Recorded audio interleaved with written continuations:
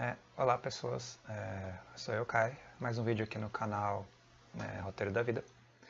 E no vídeo de hoje eu gostaria de debater uma, uma OCP também, né, uma oficina de criação de personagens, mas um dilema no caso, né, um dilema para você criar um, enfim, entender como um personagem está inserido dentro do mundo, do cenário dele. E o dilema que eu vou debater hoje é o dilema do Castelo Masmorra. Eu já cheguei a comentar ali no vídeo acho que anterior, mas vou aprofundar né, esse debate né, esse, sobre o que significaria um castelo masmorra. Né? Bom, primeiro de tudo, o que eu posso dizer sobre um castelo masmorra, essa, esse dilema, é que ele é um dilema baseado principalmente em defesa, de defesa. Né? Um, digamos, vou explicar. É, você tem um castelo, é, esse castelo ele tanto te protege quanto você protege o castelo. Né? Então é uma defesa dupla, é uma defesa, é, certo sentido, cíclica. Né? Ela que ela seja auto. Tem uma palavra aqui, eu não lembro agora, mas de modo ou de outro, o castelo é aquilo que você defende e aquilo que te defende. Já a masmorra é aquilo que te prende e sobre aquilo sobre, aquilo sobre o qual você está preso. Né? Então, todo castelo ao mesmo tempo que ele te propõe, proporciona uma barreira defensiva, ele te enfim, ele te convida né, a que você o defenda para ele que mantenha a sua função, né, para ele mantenha a sua identidade, para ele continue, para, ele, para, para que ele continue te defendendo. E no caso da masmorra, é, ela funciona como um, um, paralelo ao castelo, porque o castelo ele é uma defesa, mas você está preso a essa, a essa estrutura, né? Você é o convidado e precisa para que ela se sustente defender, né, você precisa defender o castelo, é, ele se torna também uma espécie de prisão, né, uma espécie de masmorra. E você precisa, em certo sentido, ficar nessa masmorra. E ela é masmorra porque você não pode abandoná-la. Não porque ela te aprisione de maneira como se ela tivesse vontade própria, você fosse é, impotente perante essa situação. Mas é muito pelo contrário, você precisa é, se manter preso. Você precisa se manter defendendo ou se manter nesse sentido mesmo de de, de, de é um aprisionamento, né? Mas um, pouco, um pouco mais à frente, a graça desse negócio, é, e pondo de maneira mais objetiva para não ficar abstrato, é, castelos e masmorras, nesse dilema, eles se referem muito mais a ideias e a coisas não não respondem, né? Coisas não conscientes, né? Não, não tem uma, uma identidade, não, geralmente não vivas, né? Tipo ideias ou objetos que estão ali para uma certa passividade, exerce uma função de passividade, né? Exerce uma função de serem é, utilizados, né? É, principalmente objetos, mas ainda mais talvez até ideias, pensar bem, porque elas são inertes, né? Ela, por, por, incrível que pareça uma ideia, ela não tem um potencial de transformação, ela não, ela não, ela não se movimenta, ela é uma coisa meio inerte, ela é uma coisa manipulável, uma coisa que precisa estar parada para que ela possa de fato se sustentar. Se ela se mover, ela já não consegue meio que se sustentar, ela perde a sua identidade. Então, para uma ideia manter a sua identidade, ela necessariamente tem que manter um, essa inércia, né? essa, enfim, uh, característica de não se movimentar, característica de não, não se transformar, né? É, de ser o máximo possível permanente. E só é possível defender coisas que são o máximo possível, pelo menos naquele instante que você está defendendo ela, permanentes. Se elas não forem permanentes, você, não, você perde o lastro de defesa, você perde a capacidade de, de controlar ou de propor né, é, a articulação e a estruturação daquilo que você está defendendo, né? Ou, e daquilo que também te defende. Porque esse é um paradigma de identidade também, né? Todo o castelo, tudo, tudo aquilo, todas as ideias, todos os objetos que te moldam como indivíduo é aquilo que você defende como se fossem você. É, é externo, né? As ideias não somente são você, mas estão fora de você. Tipo, ah, eu sou brasileiro. Então a ideia está para além de mim entendeu? Mas eu vou defender que eu sou brasileiro. E aquilo que está para além de mim é aquilo que eu sou incorporado a mim. Então, essa é a, a, dilema também, né? É, a ideia ela tem que se manter, ela tem que estar é, sólida, né? Ela tem que estar constante, ela tem que ser uma, um, algo ali, né? É, fixo até certo ponto, né? e aquilo que eu posso defender. É, e aquilo que eu defendo me defende. E aquilo que eu defendo me identifica. E é isso a dicotomia, esse é o dilema, né? Não chega a ser um paradoxo, mas é muito interessante porque todas as nossas ideias sobre as coisas, elas têm que ter uma espécie de fixidez, uma espécie de constância, de, enfim, de, de duração, né? Uma resistência ou uma característica de, de permanência, né? Ela tem que permanecer, pelo menos por um pouco. Aí Agora, quando você pensa em seres conscientes, seres orgânicos, quando você se propõe a defender um ser consciente, ele também tem os seus próprios, próprios objetivos, suas próprias intenções, aquilo que ele ataca, aquilo que ele defende. Então, muitas vezes, a partir do momento que você defende algo que não é inerte, algo que não é submetido a.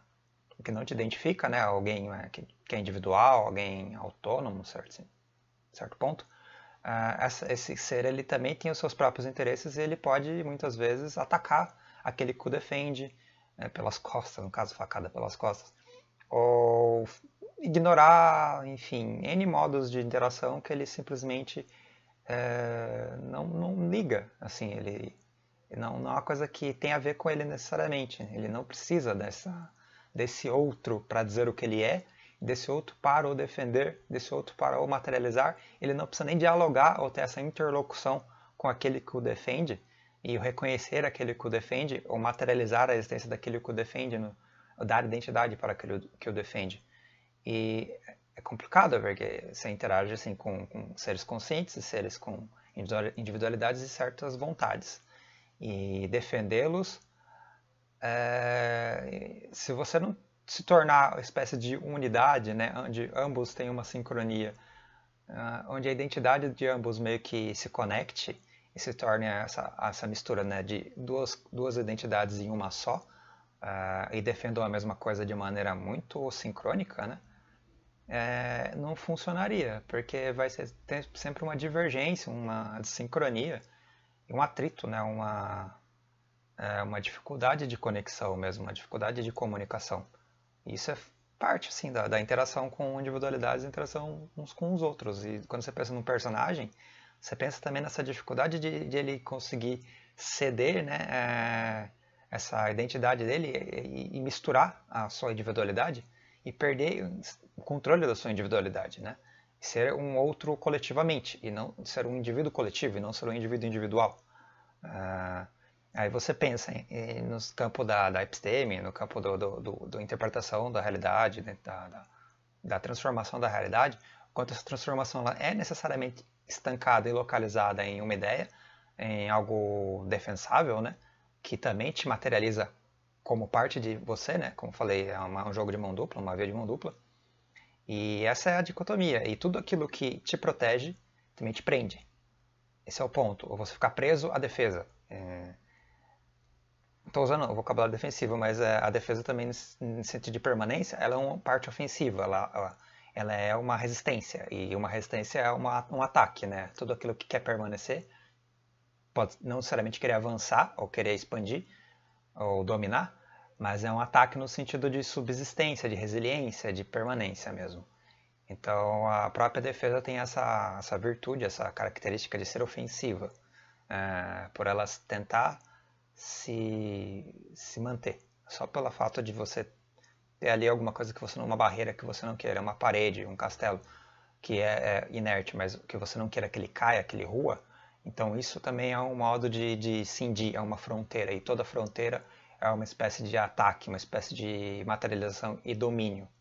Entendeu? É como criar literalmente um domínio, criar um território. Então toda defesa ela territorializa. É, essa é a graça, né? quando você pensa no campo das ideias, quando você pensa em alguém que está defendendo alguma coisa, ele está territorializando, ele está tomando para si e se expressando nessa coisa, expressando a sua vontade, expressando a sua existência, expressando a sua potência ah, nesse ato defensivo. Nesse ato de defender uma ideia, nesse ato de defender uma identidade, nesse ato de defender a, a organização, a estruturação das coisas, é, ou a relação, como elas se relacionam, que também são ideias, mas você dá um nome para coisa, uh, ou uma função para coisa. E você pode ter N modos de se defender uma coisa. Você pode defender de maneira enfática, você pode defender de maneira frágil, onde você não ligue de compartilhar a transformação, ou seja, deixar mais fluido a ideia, deixar não seja uma defesa sólida, mas uma defesa permeável, com capacidade de transmutação, né? Que é você interagir com as pessoas e não agredi-las e ao mesmo tempo deixá-las também te transformar e, e, construir de maneira coletiva a ideia, ou o ambiente, ou as coisas. E a realidade ser plural, né? não ser uma realidade é, dogmática do indivíduo, né? uma realidade que vê, que prevê e tende a, a controlar a perspectiva do outro, né? porque o outro tem que entrar em concordância com você. Ele pode ser um dos habitantes do seu castelo, mas ele não pode ter liberdade para mexer na forma do castelo, né, para mudar a materialização daquela ideia. Ele só pode aderir à ideia. Isso é muito parte do ensino, né, porque quando você aprende algumas coisas, você até tem alguma capacidade de transformação, mas tem coisas que são imutáveis, coisas que não podem se transformar. E é uma coisa coletiva, né? Como se todo mundo morasse dentro desse castelo e todo mundo tivesse que defender esse castelo. E é a mesma coisa que você pensa, ah, eu sou humano, eu sou racional, eu falo tal língua, o que, é uma língua, o que, é uma expressão, o que, que é sentimento, o que é realidade. São coisas que se tornam paredes, são coisas que se tornam fronteiras, são coisas que se tornam castelos, e elas entram no dilema que elas também se tornam masmorras. E faz parte. e teve, só para estender assim, o quanto isso é interessante para você criar um personagem que defende algo, que fronteiriza, né, ou que permeia, deixa essa fronteira se transformar, tipo, ah, ah, eu tenho uma ideia aqui de, de, de, um, de uma moral, uh, de defender alguma coisa, mas eu interajo com o outro, eu não tenho nenhum problema em, em mudar, em me adaptar, em fazer uma coisa coletiva, em transformar. Uh, tudo bem, é preciso ter fronteiras, é preciso ter castelo, é defender alguma coisa para poder ter uma linguagem, para poder ter uma comunicação, para se entender, né? Mas eu não, ou a gente, no caso, a gente constrói coletivamente, não tem essa pegada de você tem que seguir as mesmas linhas, o meu manual, as mesmas diretrizes que eu tenho, né? Que não tenho uma exigência dogmática nesse sentido, né? De, de materialização das coisas. E quando você pensa em interação entre pessoas, a gente sabe que a gente tem muita e muita materialização e muito e muito conflito e muito e muito agressão né? e hostilidade uns com os outros, né? Porque a gente sempre está nessa proteção do castelo e no sentido de ele não ser permeável, né? E cria-se pequenos reinos, né? onde cada reino guerreia com o outro para ver quem, quem é o dono do território maior, né? quem é o dono do país. Você pode pensar de maneira política nisso também. E é engraçado, a gente é uma situação política divertida e triste. Mas é tipo, historicamente divertido, eu falo. É, aí eu tava vendo uma discussão no Facebook só para achar, achar quanto é engraçado. Você pode ver esse tipo de, de relação né, entre pessoas discutindo. Né? Eu vi uma discussão onde um dos, um, dos debatedores, né, é um debatedor muito bom, ele é muito competente, é, ele queria provar um ponto, de qualquer modo. E o ponto dele era que uma lógica dependia de uma sustentação que a validasse como, como competente, né, como, como execuível, como adequada e como aplicável. Né? Só que essa lógica, a validação dela era um outro sistema lógico que, que estava na base que dava de fato a comprovação de que aquele sistema lógico era pertinente. Por exemplo, você tem um sistema de não contradição. Aí você tem todo um, um modo de sustentar que aquilo se torna de fato realizável, materializável e defensável. Né? E você põe uma lógica uh, meio que sob a pele, né? sobre abaixo dessa, né? como sustentação, para que aquilo se torne livre que você vai usar ele como princípio, mas como princípio que você vai dizer que ele é permeável, mas ele não é necessariamente permeável, e aquilo que o sustenta, que é a lógica que, per, que permite que a lógica seja válida, ela, ela tem N modos de você sustentar isso. E o cara estava dizendo que toda lógica, de toda interpretação da realidade, ele era, era um cristão, né? Era Deus. E Deus era meio que aquilo que, se você não tiver Deus, a lógica não se materializa e a lógica não pode ser aplicada. E tudo depende do princípio divino e do princípio de fé, né? da fé sobre a, a, a, sobre a criação divina do mundo e dos sistemas de pensamento humano e dos sistemas de conhecimento humano e das possibilidades lógicas de entendimento, de, de, de encadeamento, né? de diálogo e de, de, de interpretação da realidade. Né? E é muito legal e é muito forte essa teoria, Daí as pessoas elas atacaram é, mais a, a, conclusão dele, que é o que é uma lógica. Eles ficaram discutindo sobre o que é lógica. E o cara estava usando a, o pilar. O pilar era Deus, eles não estavam debatendo Deus, eles estavam debatendo o que era lógica. Eles acabaram perdendo a discussão, se for considerar que existe vitória e derrota, né? Porque eu não acredito que existe vitória e derrota. Mas se você quiser, num, num convencionalidade, dizer que pode existir melhores e piores opiniões e uma possibilidade de sobrepujação do oponente, de ter um certo, né? Um certo absoluto e imperante, é, que reine, né? É, nesse caso ele ganhou porque as pessoas não conseguiram entender o ponto da discussão que não era a conclusão dele. E a conclusão ela era dinâmica, porque toda lógica que fosse bolada para tentar refutar é, a perspectiva dele, ela estava debatendo num processo ali de, de substituição de paredes para ver qual parede era melhor para ser defendida. E as pessoas tentando se materializar junto dessa relação, né, dessa defesa das paredes. E ao mesmo tempo se digladiando ali, foi muito engraçado. Mas o ponto central é que ninguém chegou no ponto e falou: ah, se você substituir Deus por homem ou por qualquer outra coisa, é, dá na mesma. você pode substituir o princípio divino por qualquer outro princípio. Você pode colocar Satanás lá, até o diabo. Você pode fazer a retórica inteira de, de, de, de explicação da lógica do mundo material por um outro princípio qualquer. É, e se você pode criar toda uma base de argumentação para sustentar esse princípio basilar para sustentar o processo lógico. E o processo lógico ele vai ser a articulação de valor, né? Ele vai ter um valor ali de, de controle, né? Ele vai ser um argumento de convencimento, um argumento que você vai meio que entrar, é, é você entra dentro do castelo, né? E você meio que é coagido a seguir as leis daquele reino. É, no caso, o reino da lógica, né? Se você não seguir essas leis, você é agredido, enfim, a maioria meio que te faz se tornar um párea dentro do reino. Porque tem estamentos e hierarquias intelectuais, né? A gente sabe que tem. Aí se você não coaduna com um sistema lógico, a pessoa vai não querer te agredir, mas ela vai defender o castelo dela, você tendo dentro do castelo dela, ou você é, implode todo o sistema de maneira muito bem feita, é, ou você se torna refém do sistema. E, e você, se não refém do sistema, você também está preso nessa masmorra e nesse castelo, mesmo que você não defenda. Esse é um outro princípio. Se você for é, a, cercado e dominado e submetido a um castelo, você também é submetido a uma masmorra. É, o que acontece no sistema de, de transmissão de cultura. Assim, a gente é submetido a um processo que é dado, né, mas tudo bem, dá para transformar, né? Se, até certo ponto dá para transformar, dá para dialogar uh, e ir mudando né, uma coisa aqui, uma coisa ali. Mas a gente também é refém, e se a gente não tiver a pungência argumentativa, que é o modo válido, que eles consideram válido, de se aplicar e argumentar e transformar a realidade para que os paradigmas mudem, né, para que os muros do castelo sejam reconstruídos e a estrutura seja reconstruída, a gente é refém, né, a gente se torna prisioneiro do sistema. E esse cara, ele estava dizendo que ele, ele é prisioneiro de fato da lógica, mas que o princípio dele é o divino, né? E as outras pessoas, elas também são prisioneiras da lógica, só que elas não tinham um princípio. E eles não, eles não, eles não queriam ter um princípio, porque eles provavelmente eram ateus, ou não acreditavam, não queriam utilizar essa lógica divina. Só que eles estavam atacando de maneira cíclica, né? Tentando defender uma coisa. Os dois estavam defendendo as mesmas coisas, e falando a mesma linguagem, eles se entendiam.